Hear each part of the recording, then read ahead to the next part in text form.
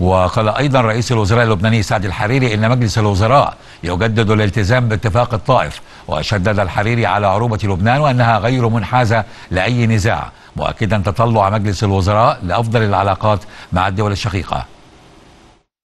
إن مجلس الوزراء يجدد تمسك الحكومة باتفاق الطائف ووثيقة الوفاق الوطني لا سيما البند الثاني من من المبادئ العامة. التي تنص على أن لبنان عربي الهوية والانتماء وهو عضو مؤسس وعامل في جامعة الدول العربية وملتزم بمواثيقها.